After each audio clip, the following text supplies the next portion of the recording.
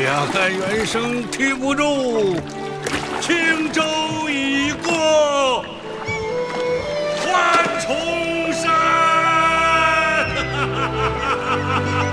这是二零二三年最优秀的国产动画，豆瓣评分直上八点三分，超过二十五万人给出了五星好评。电影中，李白在获赦之后的仰天大笑，更是收获了无数观众感动的眼泪。故事始于安史之乱，彼时大唐西部空虚，吐蕃局大军趁虚而入，围攻四川云山城。时任见西南节度使的高适严守城池，却在敌众我寡的局势下，不得已弃城而去，退向了卤水关。一时间，参他的折子不胜枚举，只因他违抗圣命，不仅不向长安进军救驾，反而退兵，距离长安越发遥远。在这个敏感的时局，高适的行为立刻引起了帝王的猜忌，下令演武将军前来接任兵权。而演武还在赶来的路上，奉皇命而来的持节监军却已在军营外等候了。眼看国家板荡，自己又不能报效皇恩，高适激动之下竟然自杀。等到持节监军程公公进入军营，高适早已奄奄一息。但手下救助及时，高适总算捡回一条命。而程公公奉皇命到来，竟不为军情而来，却是为一个人而来。这个人就是李白。熟悉的名字开启了高适久远的记忆。他拖着病体，将二人的故事娓娓道来。二人年少相识于洞庭湖畔，高适进长安求取前程，以光复没落的高家门楣，却被追赶盗贼的李白误认为歹徒。二人展开了一场搏斗，高氏武艺高强，枪法炉火纯青，三两招就占尽了上风，立刻引起了李白的怀疑：一个盗贼怎么会有如此身手？高氏一番解释，李白这才恍然大悟，自己竟错怪了好人。但李白性情洒脱，自来熟，初次见面竟借马一用。没等高氏答应，他已扬鞭而去。但李白虽追上了盗贼，却在打斗之中被磕飞了兵器。尽管侥幸干掉了一个，却被盗贼的同伙险些杀于剑下。幸亏高适及时出手，一招流星赶月，当场将盗贼刺于马下，这才救了李白一命。二人一见如故，便互道了来意。原来李白正遍访名山，借以安葬好友吴指南。二人本是结伴求道，谁知吴指南却途中染病客死他乡。讲义气的李白当即决定将好友安葬到山清水秀之地，以慰藉好友在天之灵。这份侠肝义胆，顿时让高适感动不已。二人于是决定结伴同行。在闲暇之余，李白将相扑之术交给了高适，高适则以高家枪法作为回报。二人在万亩苇田策马奔腾，少年之志犹如朝阳。而年轻的李白更是潇洒倜傥，志向自比鲲鹏。他向往寻仙问道，想要寻找修仙之法。但在修仙问道之前，他要先功成名遂，享尽这世间荣华之后，再走出世的道路。而对于功名，李白早已经有打算。他早准备好一篇大鹏赋，想通过行卷的方式博取功名。将文章递给当地的郡守后，只要获得他的赏识，便可以被推荐给朝廷，得个一官半职，施展抱负，可一举省去数十年苦读。但他虽然计划得很好，对自己的文章水平也信心十足，但天底下的捷径岂是为寒门所开？当他兴致冲冲地来到郡守府时，却连门都没进去，就被人赶了出来，还白挨了一通羞辱。令尊是一位商人，是啊，家父从事贸易，产业上及金陵扬州。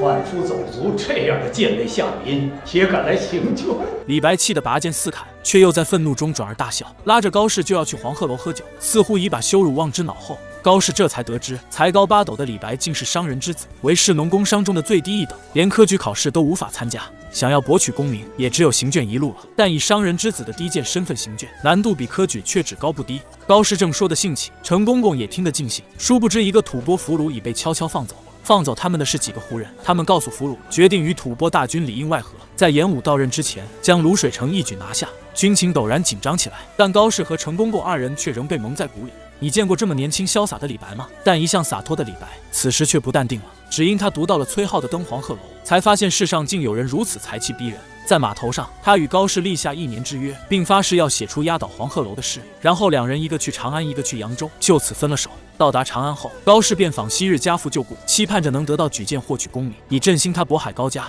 谁知在许多人眼里，渤海高家早已衰败了，哪里把他一个破落户放在眼里？屡屡吃闭门羹的高适，只好化起了油彩妆，准备在齐王府的宴会上表演枪法，以博取玉真公主的青睐。当今圣上最宠玉真公主，但凡是他举荐的人，没有不大加提拔的。但高适的枪法是上阵杀敌的枪法，舞动起来虽然杀气凛然，却不合玉真公主的口味。连这条捷径高适也没有走通，他便躲在休息室里长吁短叹，却与少年杜甫撞了个照面。就在二人交谈之时，又有人被簇拥而来，他们立刻躲在了舞室里。来人原来是王维。此时王维风头正盛，诗画双绝，深受玉真公主的喜爱，当场就答应推举他做官。高适看在眼里，心里却越发暗淡了，索性去了扬州，去赴那一年之约。扬州果然是个温柔乡，连空气似乎都是甜蜜的。李白更是大名鼎鼎，人尽皆知。但当他找上门来时，却发现李白早将一年之约忘了个干净，还拉着他去抢人。等到了船上之后，高适这才发现自己竟抢来了一位佳人。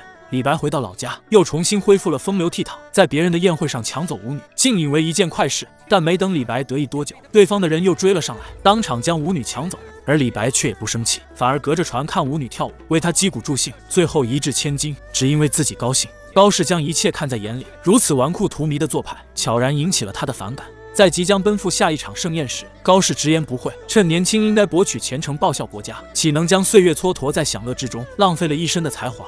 李白还没有反应，女扮男装的裴元歌忍不住了，说是与高适要比试武艺，实际是想借机教训他。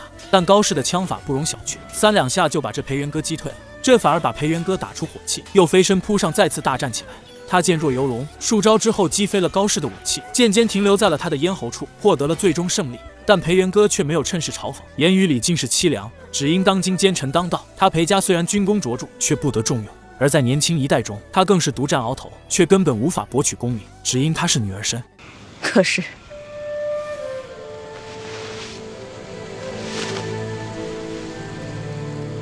我是一个女子，才华报国无门。一个女子的才华，在这个封建的时代，女子即便才高八斗，也被禁止做官。裴元歌空有满腹经纶，却因性别百无一用，伤心程度可想而知。高适大受震撼，却也因此奋发图强，更加珍惜报效国家的机会。他拒绝了李白的邀请，准备回乡苦练苦读，以期碰上绝佳机会，可以一飞冲天。程公公正听得入迷，紧急的军情又把他拉回了现实。原来吐蕃大军已出了云山城，率八万之众，正向卤水关进发，三个时辰便可到达。在这危难关头，高适反而却更加有耐心，请公公坐下，继续开始讲述。当年高适回到家乡后，一待就是三年，却突然见到了被捆起来的李白。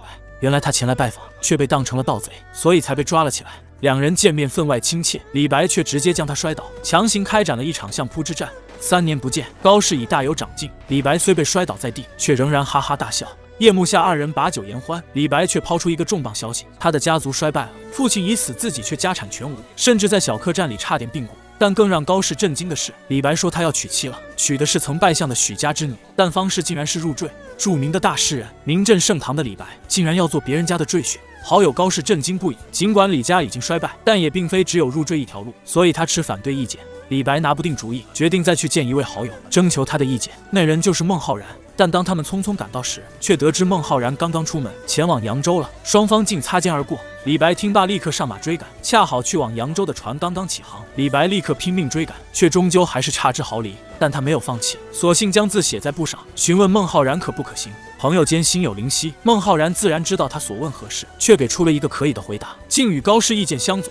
二人随后去了黄鹤楼饮酒，但等到李白提示归来，却发现高适早已无影无踪，只留下一个否字，表达了自己的态度。而离开了李白的高适，决定继续博取功名，但已不再追求行卷之路，而是要上阵杀敌，用枪舞出一个前程。他策马扬鞭，来到了塞北冀州，只想领一马队，好上阵杀敌。但将军却给出了一个条件，只要打败眼前的大汉，便满足高适的要求。但眼前的大汉雄壮似铁塔一般，哪里是那么容易打败？高适刚一照面就被甩飞了出去，对方竟也用的是相扑之术，但高适不气不馁，再度冲了上去，将大汉拦腰抱住。虽被举了起来，却也被他抓住了机会，以四两拨千斤将大汉重重摔倒在地，顿时赢得了满堂喝彩，顺利的得到了马队。好友李白无心传授的相扑之术，竟为高适的前途起了关键性的助推。但是造化弄人，边关的战事越发紧急，将军的指挥也频频失利。没过多久，高适就几乎全军覆没。而当他搀扶着受伤的战友回营时，却发现将军仍在推杯换盏欣赏歌舞，顿时觉得战斗没有了意义。在一个雪夜，高适弃官而去，准备再次回到家乡，却在一个驿站停留的时候，再次见到了李白。而李白此时正在逃亡。原来他入赘之后郁郁不得志，索性弃之而逃，投奔边关报国，却又无意发现安禄山竟有造反之心。为了安全，他立刻避之千里。但即便已逃到塞北，追兵却始终在跟着。正在二人谈话时，一个雄壮的身影走了出来。此人正是日后的中兴名将郭子仪，但没等他们说几句话，万箭破窗而入，追兵已经杀到了。郭子仪仗义出手，以上司哥舒翰的名头吓退了追兵，救了李白一命。但郭子仪看似威风，实际已经自身难保。他因军中失火被连累，马上就要被处斩。谁知高氏祖上与哥舒翰有救，他感激郭子仪救李白之恩，决定仗义出言救郭子仪一命。高氏一人一马去哥舒翰帐下说情，约定黄昏时归来。直到行刑队到来后，高氏才带着赦免之令姗姗来迟。但他虽然救了郭子仪，却与哥舒翰达成了协议，十年之后如果功名不就，要投在哥舒翰的帐下做一名幕僚。高氏虽然志在沙场，不愿意做济世文人，但为救郭子仪之命，也只好答应下来。他又回到了家乡，每日刻苦读书，本想能在这十年里博取功名，却因为弃官而逃的前科，被达官贵胄所排斥。岁月蹉跎，这一蹉跎就是十年。当初的少年已两鬓染白，成了个失意的中年人。高氏本以为今生做官无望，谁知却收到了李白的来信。原来在这十年里，李白的名声越来越大，被玉真公主所赏识，举荐他入了翰林院，终于实现了功成名遂的抱负。来信是邀请高氏去长安，以便为他谋得官职。高氏就这样第二次来了长安，却发现李白府上大门紧闭。幸亏多年不见的杜甫引路，才将他带到了曲江酒肆。酒肆里歌舞升平，无数名人骚客在此寻欢作乐。李白身穿红袍，留起了三缕长髯，已然一副功成模样。席上之客也个个鼎鼎大名，有汝阳王、北海太守，更有王昌龄、岑参等大诗人作陪。高适不断行礼，等到李白终于与他叙旧时，才发现他又将邀他来长安之事忘了个一干二净。多年不见，李白仍然潇洒，更添了一份贵气。高适却觉得形同陌路，再次回到了家乡，整日打猎游园。虽已功名无望，但也自得其乐。却在某天，他再次见到了杜甫和李白。仅仅一年时间，李白又从云端跌落，被奸臣嫉恨，不得不远离长安。屋漏偏逢连夜雨，他的夫人也去世了。李白因此看破红尘，决定实现他年少时的誓言。人间之道，我走不下去了。可是余生已短，我要走出世之道。他决定去当道士，从此寻仙问道。来找高适就是让他做个见证。但成为道士也很不容易。李白在道坛上经历日晒雨淋，片刻不歇的诵经三日，这才终于得以受禄。终于得偿所愿的李白，邀请好友大醉一场，也做出了那首名震千古的《将进酒》。趁着醉意，李白飘飘欲仙。他们乘着白鹤玉直上天宫，在银河之中徜徉，在天宫之中与神同饮。诗中豪心逼人，却有着惋惜红尘的悲观。而李白虽然出世，高适却要赴十年之约了。在告别之际，已经大腹便便的李白邀请高适再度较量相扑之术，却被轻易的打败了。因为酒色已掏空了他的雄心，而高适如约的到了哥舒翰帐下，却不想一待又是十年。安禄山终于反了，安史之乱正式爆发，却也给了高适机会。朝廷授予了他官职，他又可以征战沙场了。此时的哥舒翰已年老体衰，朝廷又昏聩无道，大军出关镇压，反而大败而归。军营中更是有人反水。哥舒翰本想破围而出，却兵败被俘，只有高适逃出了军营。在这乱世之中，高适走投无路，第三次来到了长安。朝廷西逃长安的繁华已然倾倒，处处烽火狼烟。但在乱世之中，高适的沙场本领却得到了机会。他扶摇直上，大器晚成，被任命为淮南节度使，负责平定永王之乱。行军时路过扬州，昔日的温柔乡也已残破无比。但对于永王造反、满腹谋略的高适并不在意，因为此人志大才疏，难成大事。却不想多年不见的李白，竟然投了永王。而事实也果然不出高氏所料，永王不堪一击，被他迅速镇压。但昔日好友李白也因此成了阶下之囚，要被问斩。作为评判大臣的高氏，虽有心相救，却也爱莫能助。却不想郭子仪出手求情，让李白免了一死，只是要流放夜郎。讲到这里，高氏也不禁黯然神伤。程公公也露出了真正目的。他之所以追问李白，就是怀疑郭子仪与高适之间因李白之事生了间隙，因此才违抗皇命反退卤水关。但陈公公有所隐瞒，高适又何尝不是？只见他豁然起身，摘下了绷带，脖子竟然毫发无伤。原来这一切都是假的，就是为了演戏骗过陈公公，更为了骗过吐蕃，引吐蕃离开云山城向卤水关进军。高适则率领大军抄近道，抵达了云山城，准备堵死后路，与严武来个瓮中捉鳖。而八万吐蕃大军危急，围困长安的吐蕃兵定然支援，长安之危也就解除了。高适的计划得到了完美的实施，吐蕃大军被一击而溃，安史之乱也因此被平定。高氏功成身退，却被陈公公叫住。原来他早就知道郭子仪与高氏的内情，两人根本不存在间隙，反而关系极好，只是身负皇恩不得不查。而郭子仪之所以求情，恰恰是受高氏所托，而他也带来了李白的最新消息。由于新皇登基，李白在行进白帝城时便被赦免，重获了自由之身。欣喜之下，他更是写下《早发白帝城》一诗，再次千古流传。高适听闻消息，也不禁为朋友欣喜。李白颠沛流离的一生，也终于有了个还算不错的结局。而天下太平了，高适便整日游山玩水，享受太平之乐。虽然后期被贬，却也被封渤海县侯，终于光复了没落的高家门楣。